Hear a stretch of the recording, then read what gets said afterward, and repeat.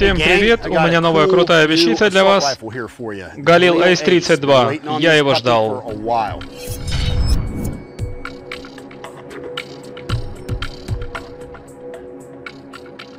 Немного истории. Компания Иви, ранее известная как IMI, воскресила Галил и усовершенствовала его.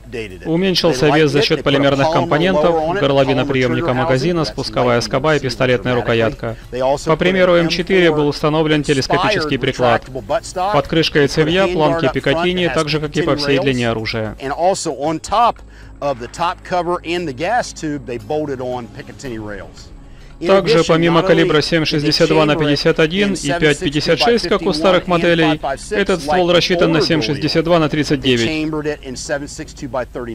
Давно хотел подержать его в руках. До недавнего времени Галил не был представлен этим калибром. Так как во многих странах на вооружении состоит еще много АК и АКМ, уже порядком изношенных, было решено выпустить в серию оружия под данный калибр. Организации стран Варшавского договора нет уже четверть века, но магазинов и боеприпасов такого калибра множество. Поэтому эта модель актуальна, особенно с учетом таких современных фич, как планки Пикатини и облегченный вес, и в дополнение совместимость с магазинами и боеприпасами АК. Все это позволило резко увеличить продажи данной модели. Теперь о впечатлениях о стрельбе. Я использовал коллиматор M-Point Comp M4S. Расскажу об особенностях этого оружия. Итак, сейчас позажигаем чуток. Я уже пульнул пару раз и поделюсь своими впечатлениями. Начнем с одиночных. Теперь автоматический огонь короткими очередями. В целом неплохо, однако при выстреле образуется достаточно много пороховых газов вне оружия, мешающих стрельбе. На мой взгляд, нужно уменьшить размер газоотводного отверстия, чтобы давление пороховых газов воздействовало на отвод затвора и уменьшило темп стрельбы, избежав выброса газа вне оружия. Теперь переводчик огня. Для правшей регулировка осуществляется указательным пальцем, или большим пальцем с другой стороны оружия. Для левшей регулировка производится суставом указательного пальца. Я предпочитаю стандартно использовать указательный палец, как если бы это был АК.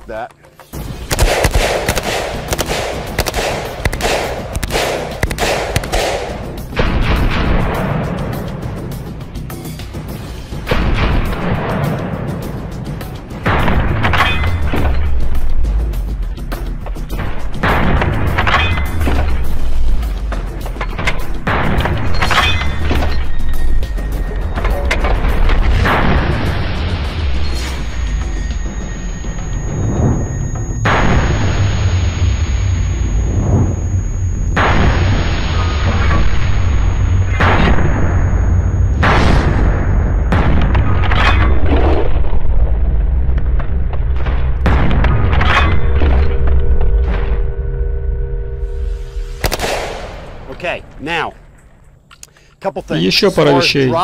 Что касается извлечения магазина, лучший вариант опустить указательный палец под спусковую скобу, нажать на защелку, извлечь пустой магазин и залампичить новый.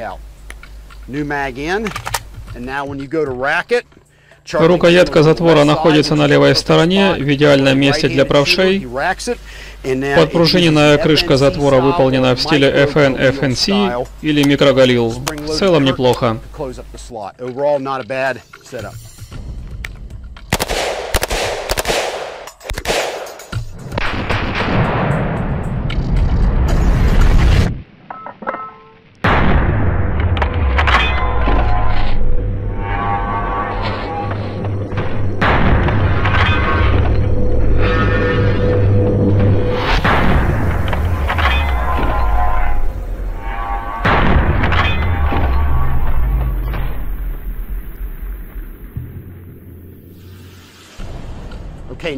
Что касается цевья, оно, конечно, улучшено, но, на мой взгляд, оно должно быть чуток длиннее. Здесь оно коротковато. Зачетно, что есть планки Пикатини 3,6 на 9 и крышка для них, но они должны быть опять же длиннее.